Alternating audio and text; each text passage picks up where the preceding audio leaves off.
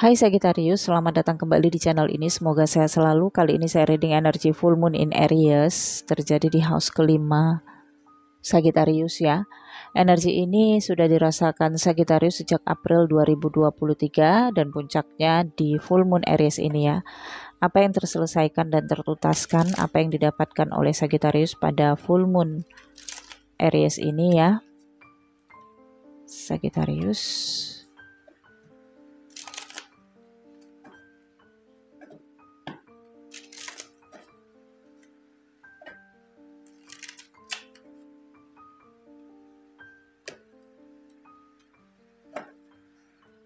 Sagittarius.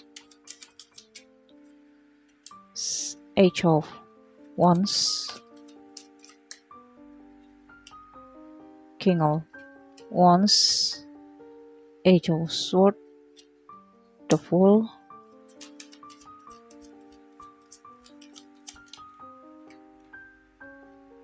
The Hangman. Two of Pentacles. Two of Swords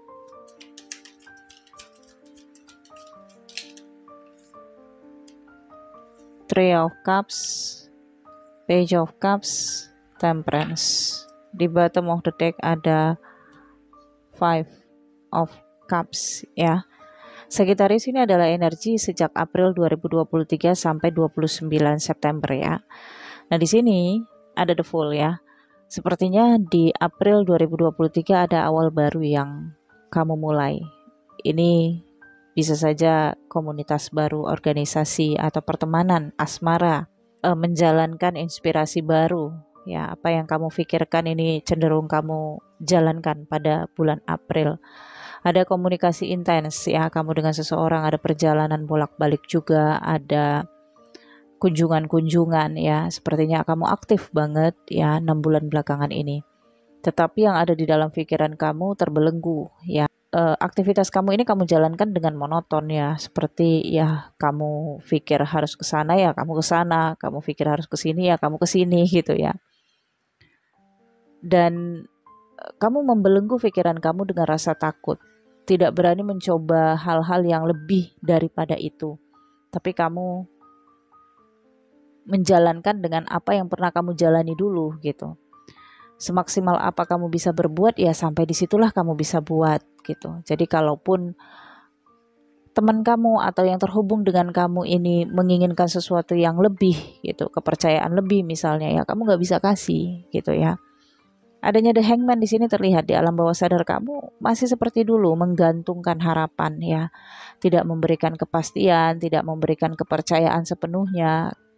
Kamu masih berjalan dengan prinsip kamu sendiri ya. Adanya King of Wands yang melintang ini bisa energi kamu atau energi seseorang yang terhubung dengan kamu tidak tergantung gender ya. Kalau ini energi kamu dengan King of Wands ya kamu kayaknya pasif banget, tidak ada tindakan lebih ya. Tapi kamu tidak ingin memperjuangkan ya, tidak ingin menunjukkan pengorbanan kamu atau perjuangan kamu. Kamu seperti mengikuti seperti air yang mengalir aja ya Nah, ada satu titik kamu dalam enam bulan belakangan ini overthinking ya, bingung kamunya terhadap dukungan-dukungan ya. Kamu merasa takut dihianati, takut dikecewakan, takut ditinggalkan. Sehingga sebelum mereka mengecewakan dan mengkhianati kamu duluan. Kamu yang lebih dulu di sini mengingkari janji ya. Di sini ada Page of Cups. Dan ada sebagian Sagittarius yang terlibat dalam third party relation ya sehingga kesannya ya mengingkari janji dengan pasangan salah satunya. Ada pembubaran juga nih saya lihat ya. Jadi bisa saja untuk sebagian Sagitarius memulai pertemanan atau hubungan di bulan April, nah di 29 September ini udah bubar lagi tuh pertemanan atau komunitas baru ataupun relationship yang baru dibentuk ya. Karena hadirnya orang ketiga atau kamu tertarik dengan hal-hal yang lain yang baru lagi gitu ya atau mungkin kamu tertarik dengan hal lain. Jadi pada full moon ini dengan adanya five of cups ya, ada kesedihan, penyesalan, ada juga rasa ingin mengulang sesuatu yang itu sudah berakhir. Pada full moon ini kamu merasa ada yang tidak berhasil kamu penuhi dari janji, dari komitmen, ataupun dari kepercayaan. Ada hubungan yang tidak berhasil kamu jalin secara baik. Ada fase di mana kamu tidak bisa meninggalkan kenangan baik di dalam hubungan ataupun komunitas. Kamu merasa seperti itu, ya. Oke, tapi satu sisi saya lihat kamu berhasil mengumpulkan teman-teman baru, berhasil dikenal oleh lebih banyak orang, Sagittarius. Namun orang-orang yang kamu rangkul selama enam bulan ini sepertinya tidak bisa kamu pertahankan. Oke. Okay? Dan ada sebagian Sagittarius, kamu punya teman-teman baru, sosial yang baru, atau relationship yang baru. Tapi kamu masih mengharapkan kenangan dulu yang pernah indah itu terjadi pada komunitas baru atau relationship baru yang kamu jalani saat ini. Oke. Okay? Dan itu tidak mungkin kan? Karena setiap momen itu kan berbeda-beda rasanya dan suasananya. Nah, ini kesedihan yang kamu rasakan ya. Ketika kamu bersama dengan komunitas baru, kamu teringat dengan komunitas lama. Bersama dengan pasangan yang baru dalam relationship, kamu teringat relationship kamu yang lama. Ya, Page of Cups ini tentang pengingkaran janji dan suatu ketidakpastian ya. Sehingga pada full moon ini kamu merasa nggak bisa meneruskan komitmen, nggak bisa meneruskan kerjasama atau tidak bisa terus mendukung dan pada akhirnya kamu mengingkari komitmen ataupun janji kamu nih saya lihat di full moon ini ya. Nah selesai full moon ini ada two of pentacles dan temperance ya. Kamu akan mempertimbangkan cara baru nantinya untuk memulihkan hubungan kamu dengan beberapa orang atau untuk memperbaiki komitmen kamu di dalam komunitas ataupun sosial kamu ini. Ya. Kalau dulu di awal bergabungnya kamu dengan komunitas atau pertemanan atau memulainya relationship kamu punya misi, punya niat ataupun punya janji terhadap mereka, maka kamu ingin merubah janji itu ya. Mungkin dulu kamu bilang oke okay, saya janji akan jadi teman kamu terus.